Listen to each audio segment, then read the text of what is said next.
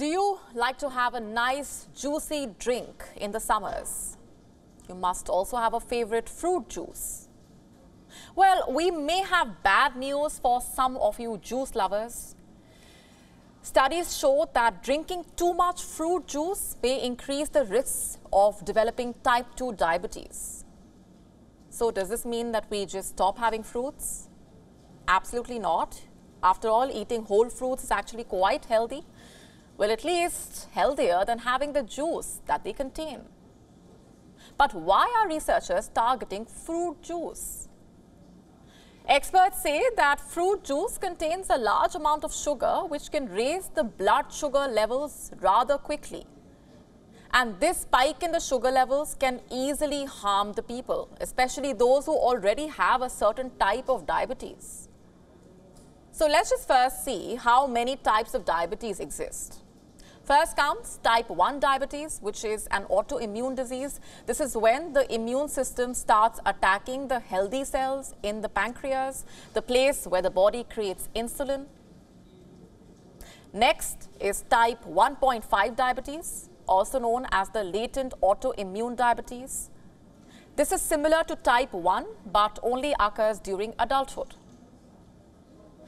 Now comes type 2 diabetes, which is the most common type of diabetes. Type 2 causes the body to become resistant to insulin, and this results in the sugar building up in the bloodstream. Studies show that having whole fruits is much better than having the juice. What does the juice contain that we don't know about? Well, let's talk about the calories. A regular glass of orange juice contains nearly 100 calories as compared to the 60 calories in, an, in a whole orange. Next is fructose, which is a form of sugar. Half a pint of fruit juice contains more sugar than what the WHO recommends, which is ideally 30 grams for men and 24 grams for women. You see, fruit juice also lacks fiber a whole fruit always contains more fiber as compared to the juice and highly processed juices which might not even have any fiber. So should a person just stop consuming fruit juice? Of course, we wouldn't advise that. Why take away the juicy joy from anyone's life? All that the researchers recommend is to tone down your consumption. Maybe only have a few glasses of juice a week because fruit juice is not all bad for the body. It is a good source of vitamin C. Drinking juice can remove certain toxins from the body as well. It helps with the body's digestion process. It helps to lose weight. But one thing to remember is to moderate the number of glasses that you are drinking.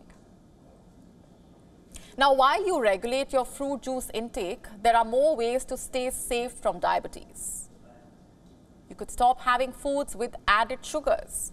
Sugars like corn syrup help boost the shelf life of the baked goods and beverages, but they also end up increasing the risk of heart disease and diabetes. Avoid foods with trans fatty acids. Trans fats are commonly used to improve the flavor of the processed foods, but have been linked to increased inflammation and insulin resistance. Trans fats can be so harmful that they have been outlawed in multiple countries.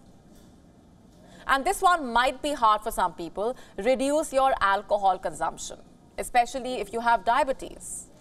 Increased alcohol consumption can limit your liver's ability to release glucose, and this might cause fluctuations in the blood sugar levels and interfere with certain diabetes medications. So are you up for the challenge to have lesser glasses of fruit juice? But make sure you don't squeeze the pulp out of your life. We are now available in your country. Download the app now. Get all the updates on the move.